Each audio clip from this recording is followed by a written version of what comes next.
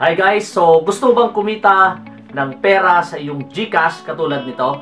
So in this video guys, ipapakita ko sa inyo paano kayo kikita nito. Alright, so pwede kayong kumita nito uh, dito sa strategy na to. So panoorin mo yung video na to at ituturo ko sa iyo yung full step by step kung paano ka kumita gamit lamang din yung cellphone at saka yung application na uh, GCash. Alright, so make sure na panoorin mo yung video na to until the end at ituturo ko sa iyo yung full step by step kung paano kumita ng 1,000 to 3,000 per day right dito sa strategy na to. At ituturo ko ngayon sa inyo guys gamit lamang po ang ating cellphone.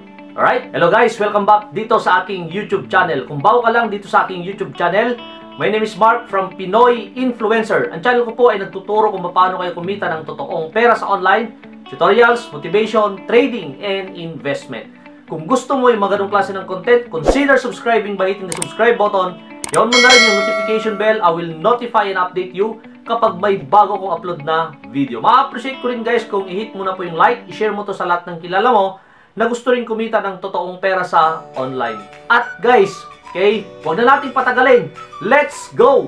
So ngayon guys, okay, nakikita nyo ngayon sa screen itong tutorial na to. So ang kailangan natin dito muna guys is kailangan po natin ng okay, Gcash Okay, kailangan po natin ng coins.ph at kailangan po natin yung Abra.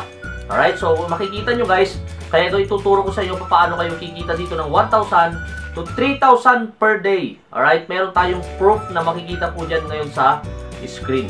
Alright, so ngayon, ang first step na gagawin natin, okay, dapat meron po tayong account or meron po tayong fund. Okay, so dito guys, nakikita nyo ngayon sa screen, okay, kailangan po muna natin ng Abra. So, i-click po natin ngayon yung Abra. Okay, as you can see guys, sa screen, okay, ito po yung Abra. Ilalagay ko lang yung pin. Okay, so nakikita nyo ngayon guys, meron po akong uh, fund ngayon sa aking Abra, which is 1,064. Okay, so anong gagawin natin ngayon sa Abra? Okay, first na gagawin natin guys pala, kung kayo po ay wala pa pong account or wala pong fund yung Abra nyo, gagawin nyo lang guys is i-click nyo lang po itong add money, nakikita nyo po yan click nyo lang po yung add money. So, pwede po kayong mag-cash in sa 7-Eleven. Pwede po yung cash, okay, gamit po yung teller or kailangan po ng Mastercard or bank wire transfer.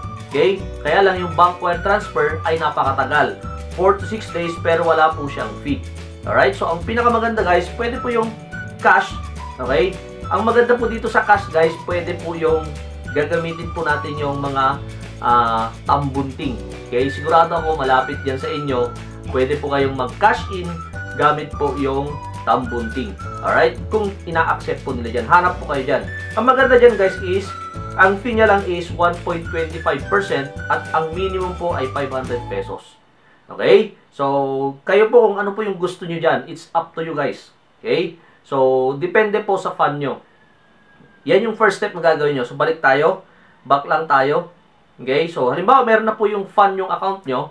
Ang next thing na gagawin nyo para kumita po kayo dito, okay, ay gagawin nyo lang po ay from yung peso nyo, so halimbawa, peso yan, okay, pwede nyo pong i-convert yan sa, okay, kailangan po natin to pala guys. Kailangan po natin yung tinatawag nilang Litecoin. Okay, so kailangan po natin ng Litecoin para po kumita po tayo dito sa strategy na 1,000 to 3,000 per day. Alright, so Sigurado ba yan? Yes, sigurado po yan. So, 3 years na po pala yung application na to. Okay? So, next thing na gagawin natin is dapat nasa Litecoin. Okay? Ngayon, kung nasa Litecoin na po yung ating fund, ang next thing na gagawin natin ay punta na tayo sa website na binabanggit ko. Okay? Ano ba yung website na yun, Mark? Kung bakit kikita ako ng 1,000 to 3,000. Ito po yon. Sundan nyo lang po ako, guys. Punta lang tayo dito sa browser. Okay? At it itatype lang po natin to. Okay, so hindi po application to, website po ito.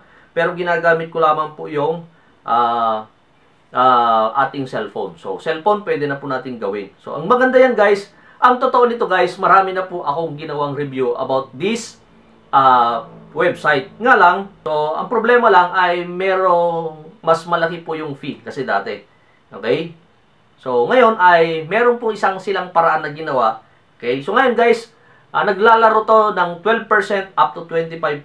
Okay? So as you can see guys, nandito na tayo ngayon sa website ni, ang pangalan po ay Tirlu. Okay? Ang maganda ko dito guys ay magbebenta lang po tayo ng crypto. Okay? isa na po yung Bitcoin and isa na po yung bagong-bago yung Litecoin. So, pwede po tayo mag-earn ng 15% ngayon. So, from 12% to 25% naglalaro siya. Pero as of today, habang ginagawa po natin tong video na to, ay 15%. So, sa, guys, dapat po marunong po tayong magkwenta. Kasi marami akong mga previous videos, hindi marunong magkwenta yung mga nagre-reklamo. Okay? So, dapat marunong tayong mag-compute. Okay? So, yan po yung isa pang requirements. Kapag di po kayo marunong mag-compute, eh, talo po kayo. Kasi meron nag-email sa akin, natalo daw siya. Eh, oo nga naman, matatalo talaga siya. Kasi yung fee na ginamit niya, ewan ko magkano lang yung binayaran niya, eh talo talaga. Kung 15% sa fee pa lang, talo na siya. So, dapat marunong kayo mag-compute. Kanina punta tayo sa Abra, 1.25%. Maliit, di ba? Yung 1,000, 10 pesos lang. Tama? Or sabihin na lang natin na 12 pesos kung 1.25. 12.50 yung 1,000. Tama? So ngayon, kung 15%, may profit ka. Ang maganda dyan, ito yung guys. So guys, pwede po tayong kumita ng Bitcoin, uh, ng 15% sa ating ibebenta. Dalawa ngayon. So ito po yung pag-uusapan natin ngayon. Yung tinatawag nilang Litecoin. Okay, dati kasi yung Bitcoin, napakataas na po yung gas fee. Although kikita ka, pero napakalit na rin yung bahagi mo. Malit na yung natitira sa'yo. Kaya yung iba nagre-reklamo. So, gagawin mo lang dito guys, okay, kiklik mo lang tong Litecoin na to. Click mo yan. As you can see guys sa screen. Okay, so dito guys, pwede nating ibenta yung Litecoin natin ng 212. Pero ang price ngayon sa market is 184. Meaning, meron tayong profit na 15% kapag ibinenta natin to kay Tirlo. Alright? So, si Tirlo guys, okay, until today, still paying. Until today, nagbabayad po si Tirlo at wala pa po siyang hindi binabayaran. Okay? So, may mga problema. Sigurado ako merong mga concern diyan. So, yung concern lang is from from PayPal. Yung PayPal niyo ang may problema. So, mamaya, tapusin mong panoorin yung video, ituturo ko sa inyo para hindi po magka-problema po yung PayPal niyo. Okay? So, ang gagawin mo lang, input mo lang yung uh, ilalagay mo na Litecoin. Alright? So, ilalagay natin yung Litecoin. So, halimbawa, bebenta tayo ng 0.1 Lite, Litecoin. Okay? So, halimbawa, ito yon 0.1 or, tama, 0.1. Gagawin lang natin guys, ay ilalagay lang natin yung ating PayPal account. So, ito ay sample lang guys. And then, click lang natin tong Start Exchange. Okay? So, step by step natin gagawin. So, ang gagawin mo lang, next step na gagawin mo ay, Ikakopy mo lang tong amount. Okay? Or itong address na lang kasi alam na alam mo naman, 0.1 lang. And then, balik po tayo dito sa ating Abra. Okay? So, punta lang tayo dito sa Abra. And from here, Abra, sa ating Abra, okay, ang gagawin na lang natin is, okay, so, since ito ay na-transfer na, from peso pala, i-convert nyo siya sa Litecoin. Okay? So, kung nas nandito na ngayon sa ating Litecoin, ang gagawin na lang natin ay, okay, So, dito guys, nakikita nyo po yung withdraw. I-click lang natin itong withdraw. Yan. So, send to crypto wallet. Sabi niya dyan, immediate, no abra fee, no limits. Okay, wala pala siyang bayad. So, from, from, from abra, papunta dun sa ating, uh, papunta sa ating tirlo, eh wala na siyang bayad. So, 1.25% lang yung maibabawas sa, okay, may babawas sa'yo sa yung investment. So, ang gagawin natin is, Click lang natin yan. Okay, then click natin yung Litecoin. Yung address dito natin ilalagay. Okay, so paste lang natin dyan. So sana guys nasusundan nyo. Okay, and then, so pwede nating i-click dyan. Ilagay natin yung amount pala. 0.1. Yan. So gagawin na lang natin deduct fee, then review. Okay, so confirm withdrawal. Okay, so ang matatanggap is 0.09, confirm withdrawal. Yan. So, okay. So, okay na siya guys. Na-process na natin yung ating uh, ginawang transactions. Ganun lang. Okay? And, ang gagawin na lang natin guys, wait na lang natin siya. Hihintayin na lang natin ng uh, ah, 4 to 5 hours or 3 hours, 2 to 4 hours. Depende siya. Naglalaro siya guys. Alright? Pupunta ka na lang sa email mo, okay, check mo siya kung successful po yung transaction mo, and then just wait. Okay? So, hintayin mo na lang sa iyong PayPal account. So, i-monitor mo na lang siya. Okay, so yung sa atin guys, nakita naman natin, meron tayong proof. At eto guys, okay, pan panoorin nyo to para sigurado ako. O sigurado kayo na hindi ma-hold yung PayPal nyo. Gagawin nyo pala guys, dapat yung PayPal nyo ay verified at maraming transaction. More than 2, more than 3. So, dapat 5 above yung transactions. Mas maganda po yon Okay? Para hindi ma-hold. At kung bago pa lang yan, sigurado ko i-hold ni PayPal yan. Bakit niya i-hold? Kasi nga, okay, bago siya, gusto niya i-verify na sa'yo nga yun. Okay, pangalawa, okay, yun po yung uh, policy at saka rules ni PayPal. Na kapag bago at walang transactions, magugulat siya. Kaya i-hold niya para isiguraduhin. Ang maganda dyan, kapag na-hold naman, 14 days to 21 days. Minsan, mayroong 180 days. Okay? Pero don't worry, ibibigay naman niya yon Kasi sa'yo yun eh. Tama? Sa'yo yun. Okay? Hindi niya kukunin yon para uh, i-safety yung pera mo. Okay? So, ano ilang araw pala pag gagawin mo to?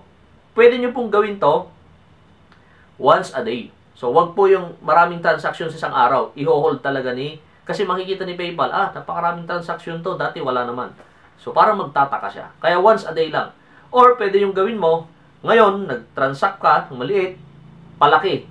Okay? O, pap gawa ka ng pagitan ng isang araw, dalawang araw, tatlong araw, okay, kapag bago pa lang. Pero kapag matagal na, ginagamit mo yung transaction na yan, so pwede nyo na pong malaki. Yung meron akong, okay, meron akong client, or meron akong isang nagpa-follow sa akin, nagko-convert siya ng 30,000.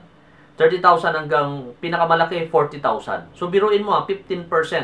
Kung ginamit niya ngayon Litecoin, eh, lapakalaki yung kita niya. Okay? Kung Litecoin yung ginamit niya ngayon, eh, kung 15% yung 40,000, ilan yun? 6,000 yun isang araw. Naghintay lang siya. 6,000 isang araw. Ibawas mo yung mga fee. Sabihin mo na lang, 500, bawas mo. 5,000 yung kita niya isang araw. Ayos na ba yun? Ayos na ayos. Okay? Basta sundan mo lang kung ano yung itinuro ko. Okay? So, kung meron kayong questions, guys, feel free na mag-post kayo dyan sa comment box. At sana, guys, nagustuhan nyo yung aking tutorial today. Gamit po yung cellphone at nakikita nyo po sa screen. At sana, nasundan nyo. Kasi cellphone na po yung ginamit ko para matutunan nyo okay, yung tutorial na to. Madali lang to guys, madali lang to. Okay, at ang maganda dyan, step by step yung ginawa natin. Ginamit po natin yung Abra, inulit ko. Okay, from Abra, mag-cash in tayo. Or, pwede nyo pong gamitin yung Binance. Pwede rin po yung PDAX kung merong Litecoin doon. Or any crypto wallet na meron pong Litecoin. Alright, okay? So, maganda kasi sa kay Litecoin, napakababa yung gas fee niya. Kung gagamitin po natin yung Binance, yung gas fee niya lang po yun ay 6 pesos. From, from Binance papunta kay Litecoin. Ginagamit ko rin siya. Alright? So once again, this is Mark from Pinoy Influencer. Sana nasundan nyo. Okay, thanks for watching and see you on my next YouTube video. Thanks and bye-bye!